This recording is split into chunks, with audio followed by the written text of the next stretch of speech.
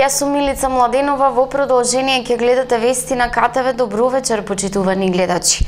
Со бројка над очекуваната помина денеска првата крводарителска акција во Кавадарци за 2016 година. Кавадарчани се меѓу најхуманите потврдуваат од Институтот за трансфузиона медицина Скопје и официјално почна крводарителската година за кавадарци. Традиционално првата акција денеска беше организирана во Обштинското собрание, каде крв слободно даруваа сите заинтересирани и хумани граѓани од кавадарци и околните населени места.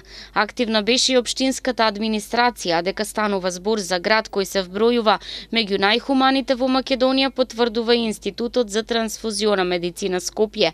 Нивна екипа и денеска беше задолжена за реализација на акцијата, а истата е во рамки со годишниот план за Кавадаречкиот Црвен крст. Доктор Јасминка Трајкова од институтот потврдува дека изминатата година беше успешна за трансфузиологија, демантирајќи ги гласините за недостаток на резервни единици крв и вели успешно почна и 2016-та. Според Трајкова, институтот преку акциите редовно е снабден да и нема проблеми. Се знае Кавадарци е секојаш град со многу дарители. Кажете ми Институтот за трансфузиона медицина Скопје како ја заврши 2015 година? Па доста успешно. Еве почнуваме поново од денес Кавадарци, прва акција во општината. Сме денес. Ке видиме.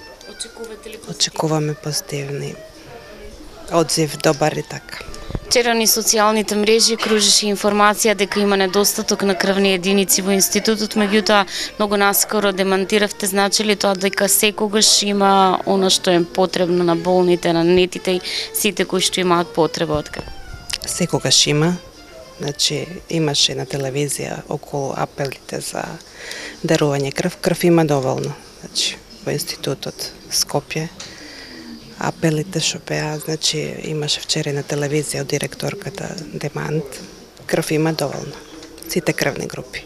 И денеска кај сите потенцијални дарители се проверуваше здравствената слика, се мереа крвниот притисок и нивото на хемоглобин во крвта. Се подполнуваше и листата според која на дополнителна проверка оди секоја дарувана единица крв. Со интересот за дарување денеска, кавадарчани навестија уште една хумана година. Вчера во општина Неготино се одржа координативен состанок на градоначалникот Апостолов со представници од бизнис секторот во општината на кој се разгледа предлог агендите за одбележување на празникот Свети Трифун. На иницијатива на градоначалникот на општина Неготино Ванчо Апостолов, вчера во неговиот кабинет се одржа координативен состанок на кој присуствува и активно учество земаа представници на бизнис секторот, винарници и угостителски објекти од општината. Со своји предлози, мислења и идеи дискутираа сите присутни по предлог агендата за одбележување на празникот на лозарите и винарите Свети Трифон неделата на виното 2016 Со состанокот раководеше градоначалникот Ванчо Апостолов кој на присутните им ја презентираше годинешната предлог програма, изготвена од страна на администрацијата во општината, а предлог агендата е слична како минатогодишната, така што настаните ќе започнат на 12 февруари во петок, а централната манифестација ќе се случува на 14 февруари недела, со почеток од 12 часот со ритуалот на символично закројување на виновата лоза, како и доделување на наградите на учесниците во манифестацијата. И годинава е предвидена богата културно-уметничка програма преку учество на музички групи и други друштва, а како што истакна градоначалникот Апостолов и годинава локалната самоуправа ќе ги обезбеди штандовите, на кои ќе се служи храна и вино за учесниците во оваа манифестација. Од локалната самоуправа се надеваат дека и годинешниот Свети Трифон ќе биде посетен од голем број граѓани од општината, па и пошироко од регионот и достојно ќе го одбележат еден од најголемите празници на тиквешијата, заштитникот на лозарите и винарите Свети Трифун.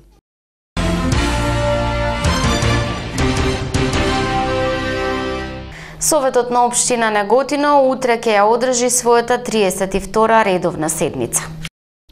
Утре со почеток од 12 часот Советот на Обштина Неготино ќе одржи својата 32 редовна седница, која воедно е и прва во оваа 2016 година. На оваа седница советниците ќе расправаат по 13 точки и тоа предлог заклучок за усвојување на извештајот за работа на локалната библиотека Страшо Пинџур од Неготино за 2015 година и предлог заклучокот за усвојување на програмата за работа на локалната библиотека за 2016 година предлог решение за давање на согласност на статутот на Обштинската установа Музеј на град Неготино, предлог одлуки за утврдување на детален урбанистички план за дел спортско-рекреативниот центар во Неготино, предлог одлуки за прифаќање на иницијатива за отпочнување на постапка за изработка на измена на детални урбанистички планови во неколку урбани заедници во Неготино, како и предлог заклучок. По однос на исполнување на урбанистичките услови за вршење на дејност за складирање, третман третман или преработка на интерен отпад. Но оваа 32 редовна седница се наоѓаат и точки кои се однесуваат на предлог одлука за давање на користење и одржување на јавното предпријатие Комуналец Неготино на системите за хлорирање на водата за пиење во селата Пепелиште, Војшанци, Курија и Тремник, предлог одлука за формирање на комисија на општина Неготино за спроведување на постапки за продажба и давање во закуп на недвижни ствари, за продажба на движни ствари и постапки стапки за набавка на недвижни ствари, предлог решение за разрешување и именување на еден член на управниот одбор на основното општинско музичко училиште Владимир Арсовски во Неготино, како и предлог заклучок за усвојување на извештајот за извршениот попис во општина Неготино за 2015 година. Седница ќе одржи утре и Советот на Обштина Росуман 36-та поред ќе се расправа за повеќе предлог одлуки, а на дневен ред е и буџетскиот календар за 2016 година. Со почеток во 12 часот утре Советот на Обштина Росуман ќе одржи 36-та редовна седница. Советниците ќе го разгледуваат предлог извештајот на Комисијата за урбанизам, комунални дејности и заштита на животната средина, програмата за уредување на градежното земјиште на просторот на Обштината за 2016 година, предлог програмата за изградба, реконструкција, одржување и заштита на локалните патишта и улици во Обштината, програмата за изработување одобрување на урбанистичките планови во општината за оваа година, како и предлог програмата за одржување на локалните патишта и улици на подрачјето на општината во зимски услови за 2016-2017 година. На дневен ред е и предлог одлуката за поднесените барања за постапување со бесправно изградените објекти со кои бесправните објекти ќе бидат вклучени во идната урбанистичко-планска документација за наведените локации. Ке се одлучува и по предлог решението за давање на согласност на програмата за работа на јавното комунално предпријатие Росуман за 2016 година, решението за давање на согласност на планот и програмата за управување со отпад на јавното комунално предпријатие Росуман, предлог за клучоците во однос на поднесените барања од физичките лица и предлог одлуката за расчистување на стариот млин во Росуман. На 36-та седница советниците ќе разгледуваат и одлучуваат и по предлог извештајот на Комисијата за образование, култура, спорти, одбележување на празници и манифестации, програмата за одбележување на празниците и манифестациите за тековната година.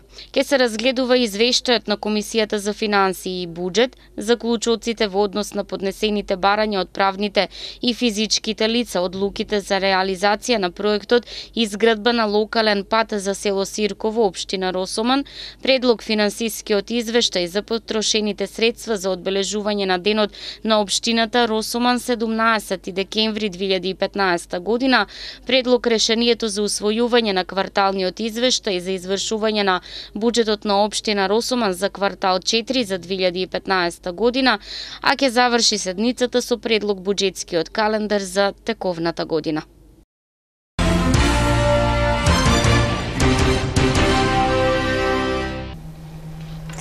Месната заедница на село Горна Бошава одлучи да се реконструира покривот на црквата во селото. Ке се реновира покривната конструкција на црквата во селото Горна Бошава, информираше председателот на местната заедница Дарко Најдов. Иако градбата на црквата ја почнавме во 2003 година, покривот протекува при дошт, а дождовните капки оставаат траги во внатрешноста на верскиот објект.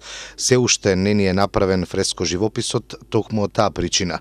Иако има заинтересирани, тоа засега се избегнува, се додека не се реши проблемот со протекувањето на покривната конструкција, вели Најдов Димитров. По реконструкцијата на покривот ќе следува фреско живописот и осветувањето на црквата. Завршувањето на оваа работа е многу значајно, бидејќи сите кои доаѓаат во селото, без разлика дали потекнуваат или не одовде, најпрво ја посетуваат црквата Свети Илија, рече Најдов, и нагласи дека акцијата за реконструкција ќе ја реализираат сите жители на селото, а финансиите за материјал веќе биле обезбедени.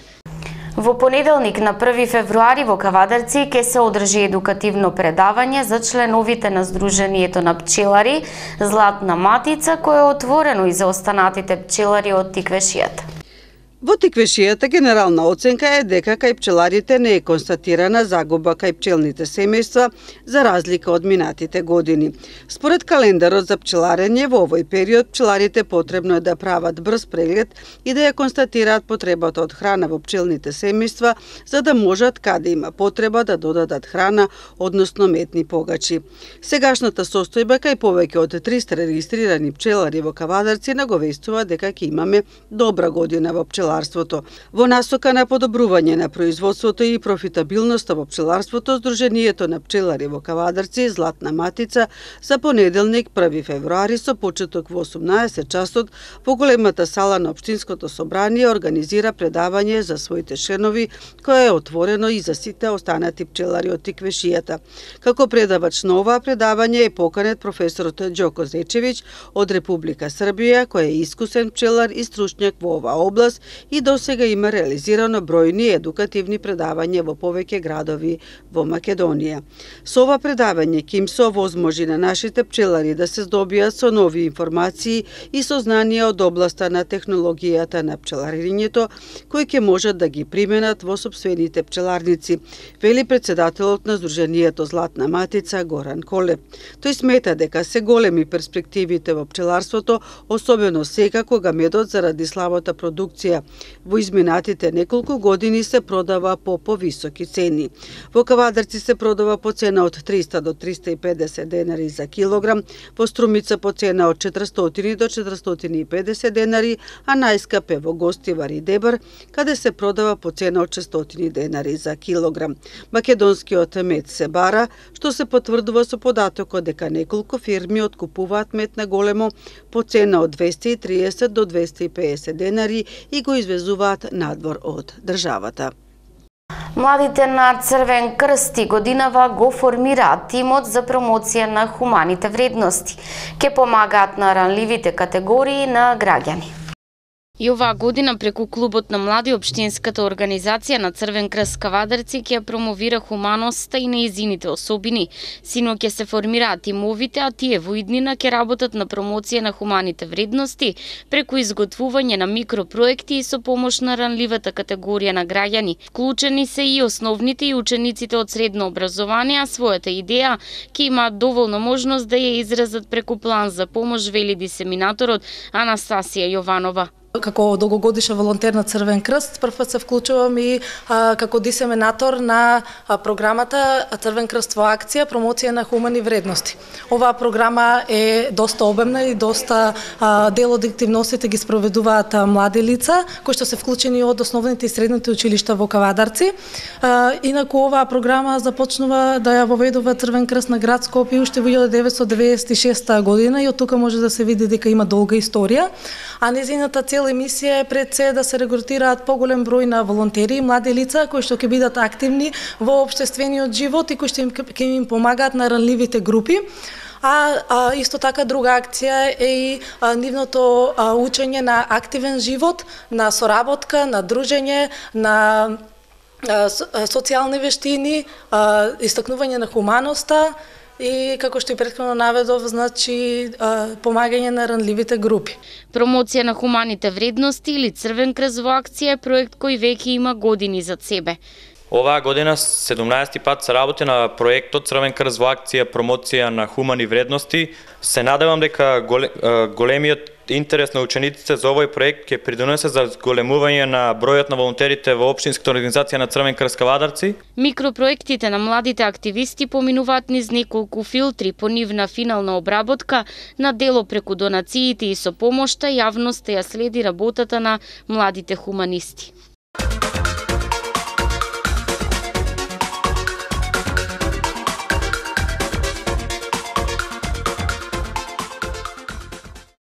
Следува временска прогноза.